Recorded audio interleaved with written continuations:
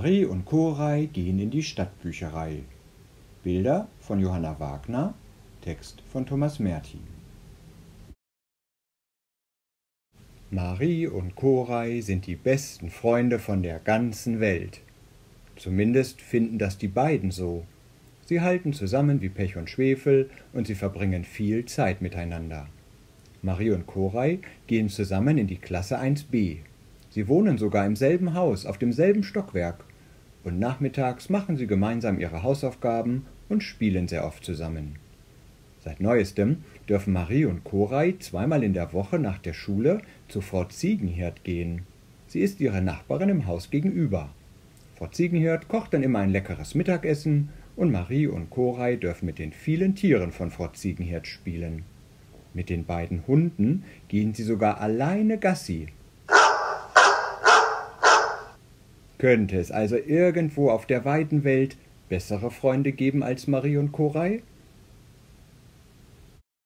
Heute Nachmittag ist Marie nach der Schule mit zu Koray nach Hause gegangen, weil Maries Mutter und Vater bis zum Abend arbeiten müssen. Zum Glück hat die Lehrerin nicht so viele Hausaufgaben aufgegeben, denn jetzt wollen Marie und Koray noch in die Stadtbücherei gehen. Korays Mutter und seine Schwester Nehir begleiten sie. Nehir will heute beim Leseklub der Stadtbücherei mitmachen. Das ist eine Veranstaltung für die Kinder ab der vierten Klasse. Dort wird schon aus den Büchern für die Großen vorgelesen und es werden schwierige Spiele gespielt und knifflige Sachen gebastelt. Nun müssen sich die vier allerdings beeilen, weil der Leseklub bereits in einer Viertelstunde anfängt. Marie hält eine Tasche vollgepackt mit Büchern und DVDs, die sie wieder in der Stadtbücherei abgeben will, in ihrer Hand. Auch Koray hat eine Tasche voll mit Büchern und CDs über seine Schulter gehängt. Nehir muss heute nur wenige Bücher zurückgeben. Weil sie als große Viertklässlerin schon allein in die Stadtbücherei gehen darf, ist Nehir ganz oft dort. Die Stadtbücherei liegt direkt auf ihrem Schulweg. Auch Korays Mutter hat ihre Bücher zum Abgeben dabei – in den Büchern geht es meistens um Herz und Schmerz, und Cora ist das immer ein bisschen peinlich, wenn seine Mutter sich dieses Liebeszeugs ausleiht. Die vier wollen endlich aufbrechen, als Marie noch einmal in ihre Tasche schaut und dort die DVD-Hülle von Mia and Me sieht. Da bekommt sie plötzlich einen Schreck. Marie hat gestern Abend vergessen, die DVD-Scheibe aus dem DVD-Player herauszunehmen. Weil Maries Mutter gestern Abend noch schnell die Küche sauber machen wollte, durfte Marie ausnahmsweise noch die letzte Folge Mia and Me zu Ende schauen.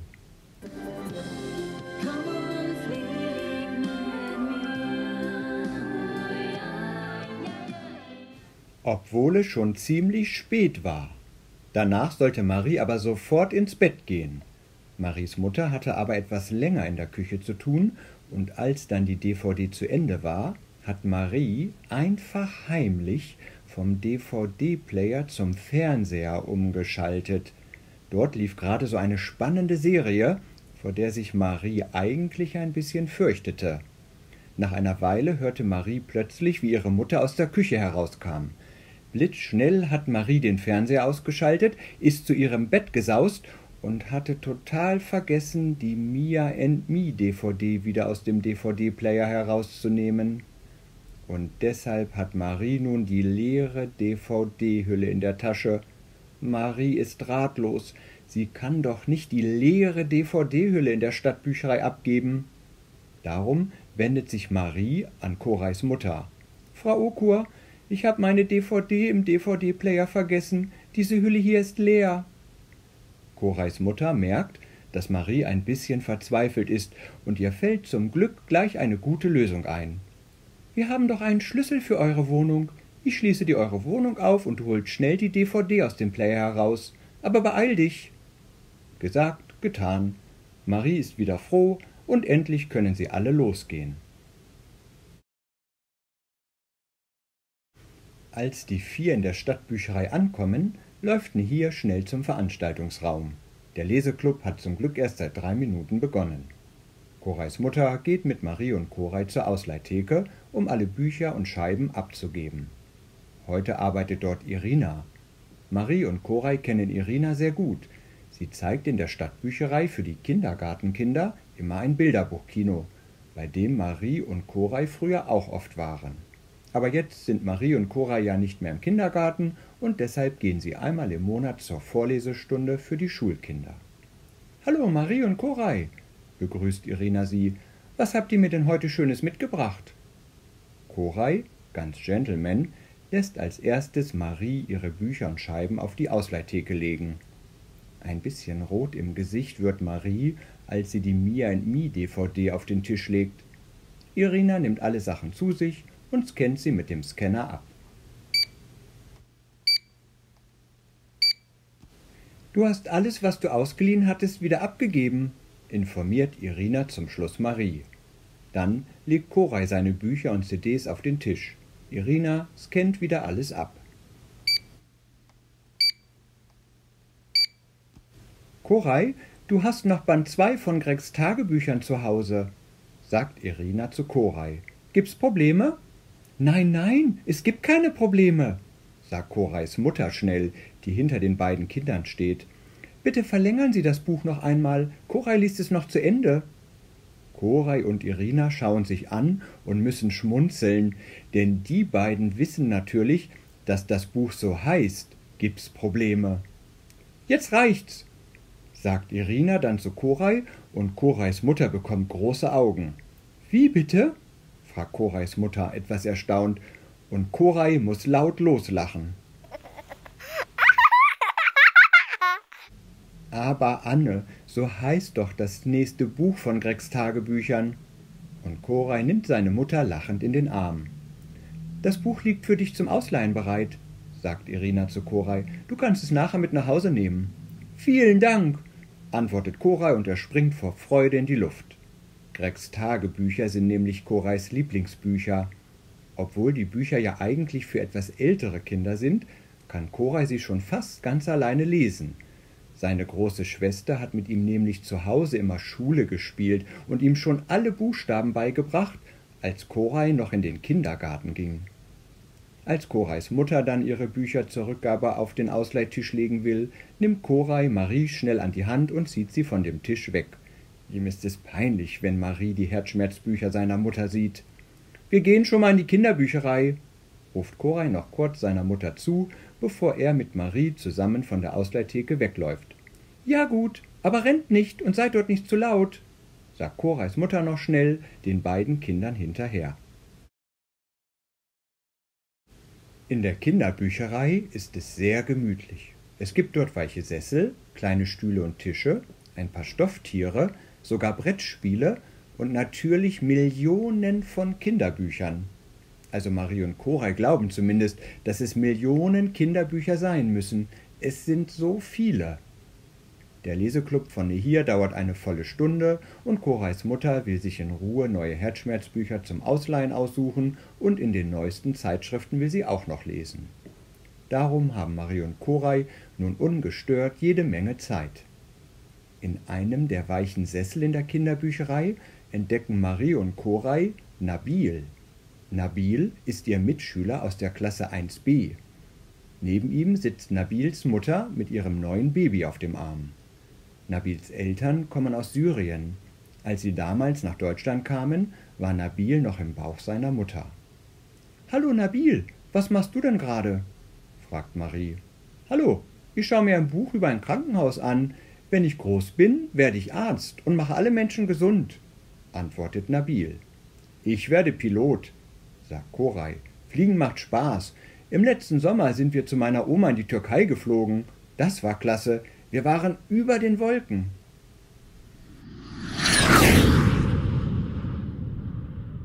Und ich werde Bundeskanzlerin, sagt Marie. Dann bin ich die Chefin von Deutschland und alle müssen machen, was ich will.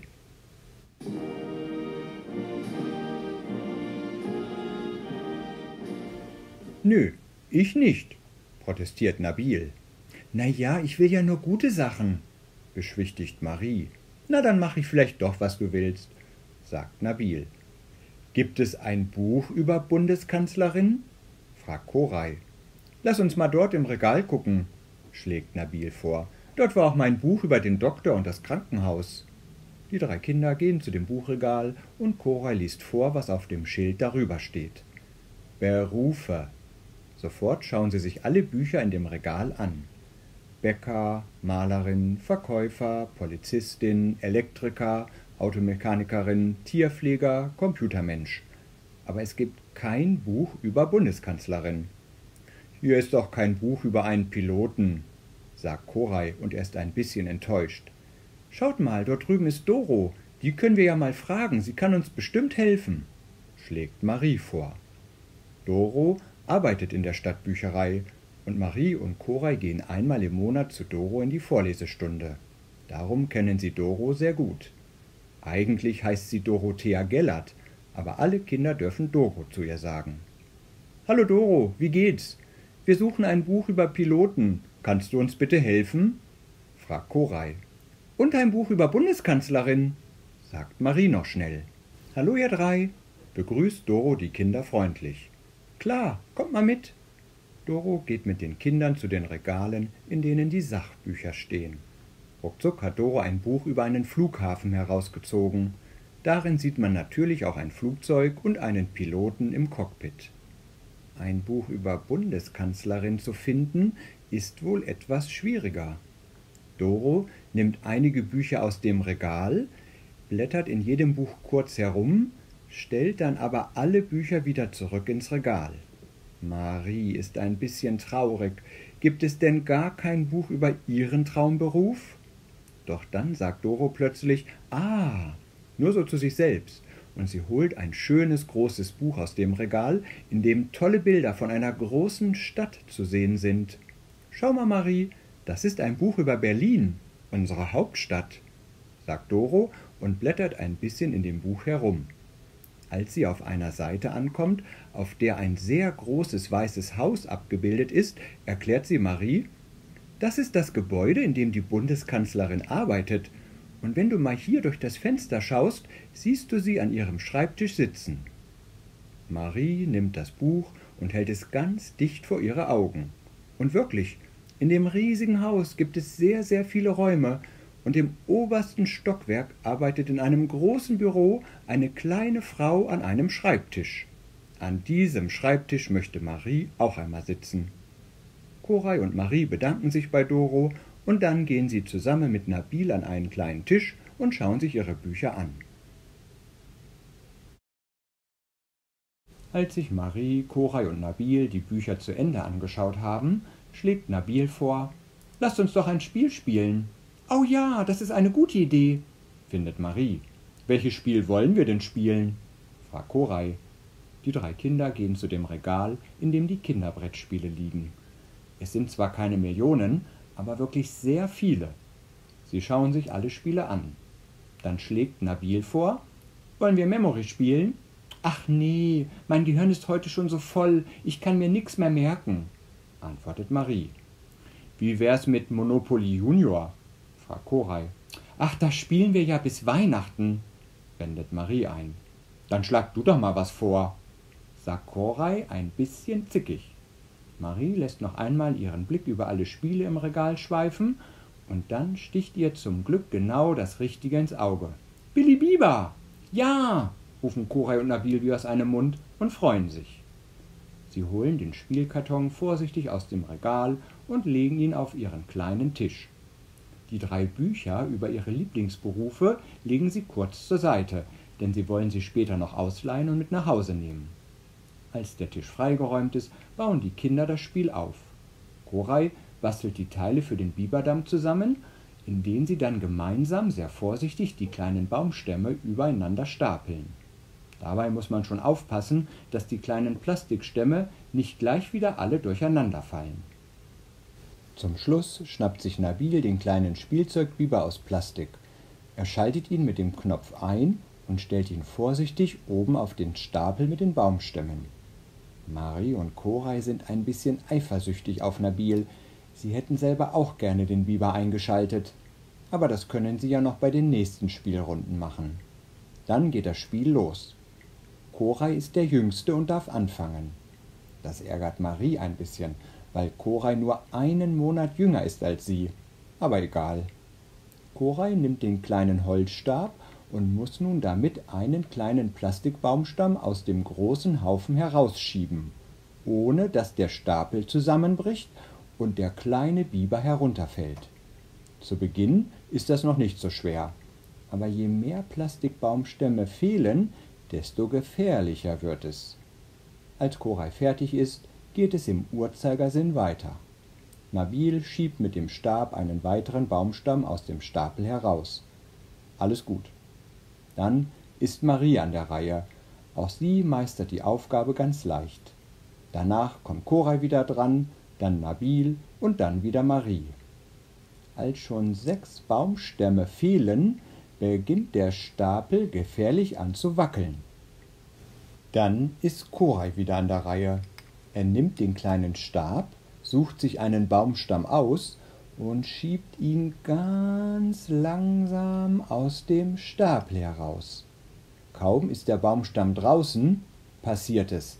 Der Stapel fällt zusammen und alle kleinen Baumstämme poltern krachend auf den Tisch.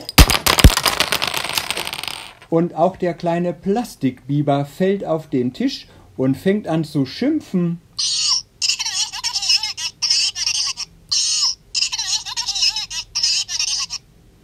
Das ist so witzig, dass die drei Kinder laut lachen müssen. Und der kleine Biber schimpft immer weiter und die Kinder können gar nicht aufhören zu lachen.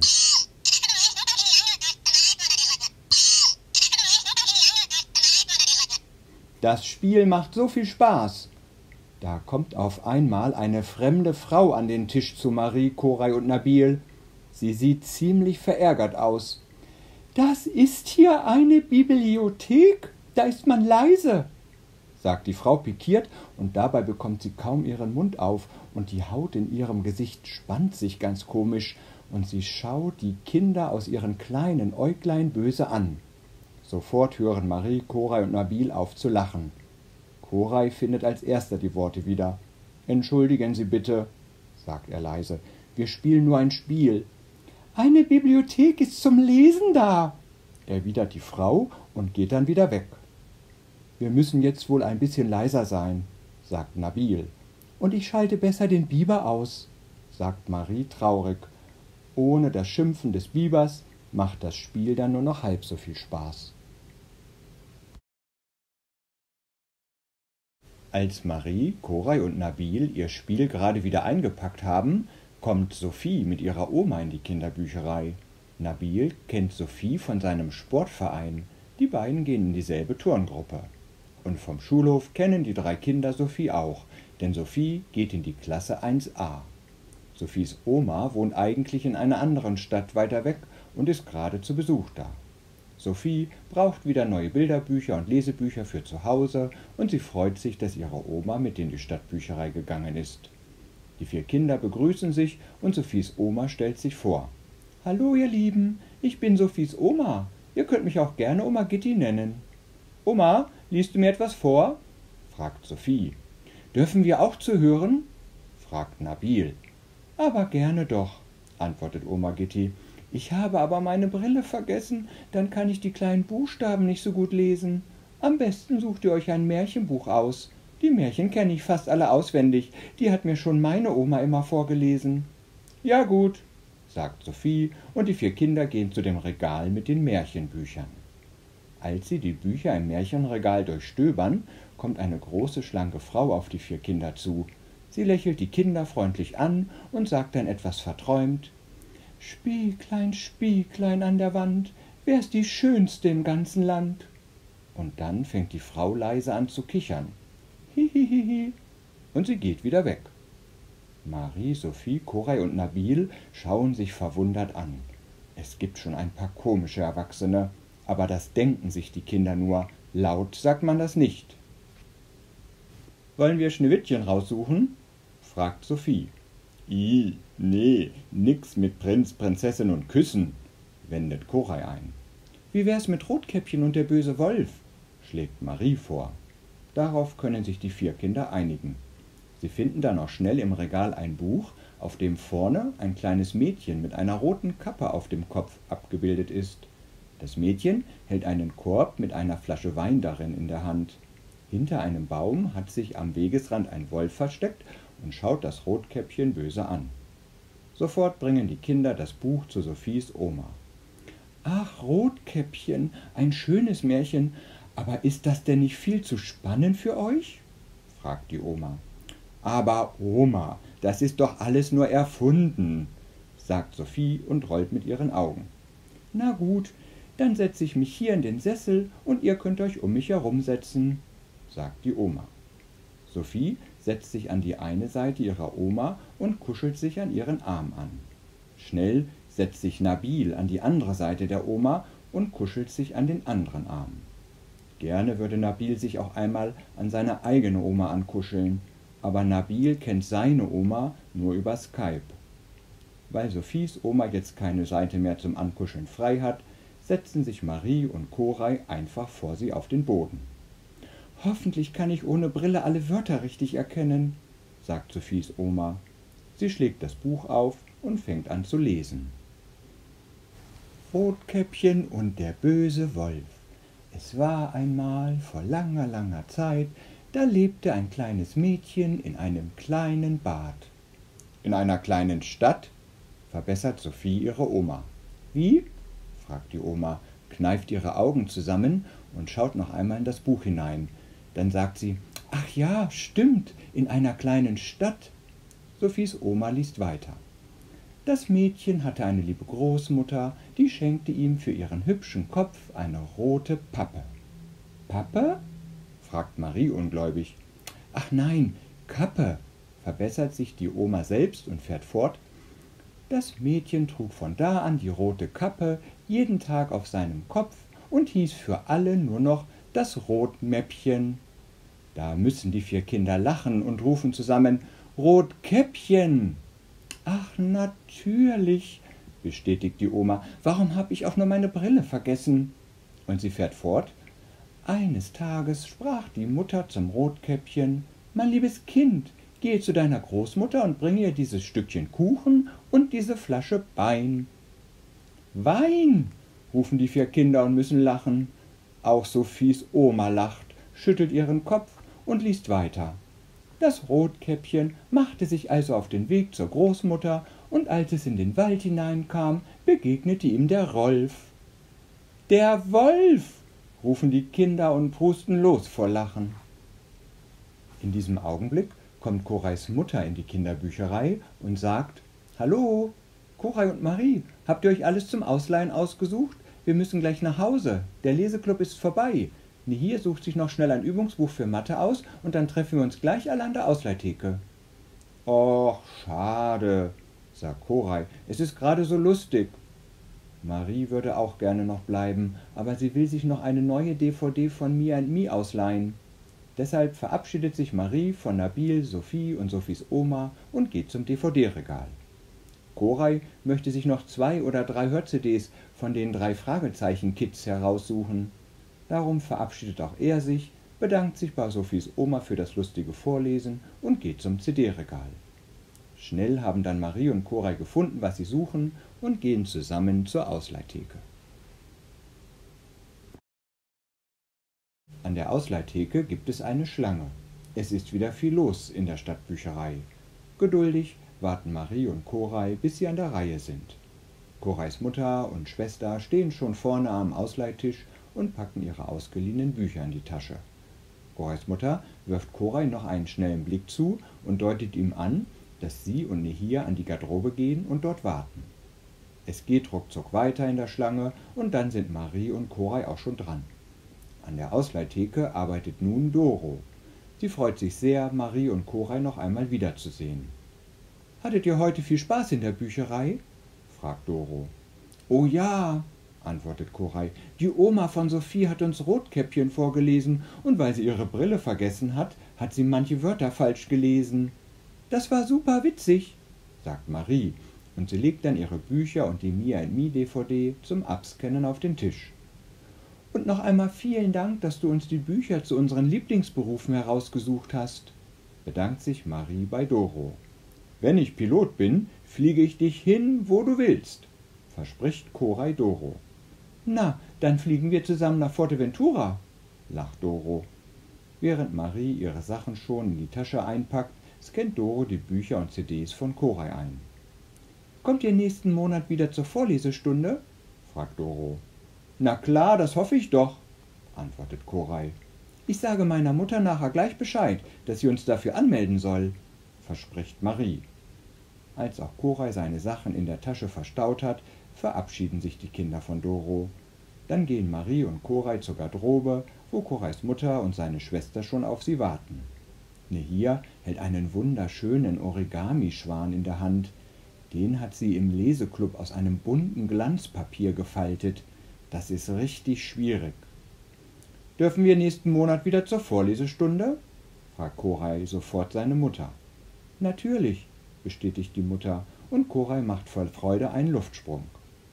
Als sie dann alle die Bücherei verlassen, denkt Marie an ihre neue Mia Mi DVD und sie hofft, dass sie die DVD schon heute Abend vor dem Schlafengehen anschauen darf. Aber dieses Mal wird Marie die DVD-Scheibe sofort danach wieder in die Hülle zurücklegen.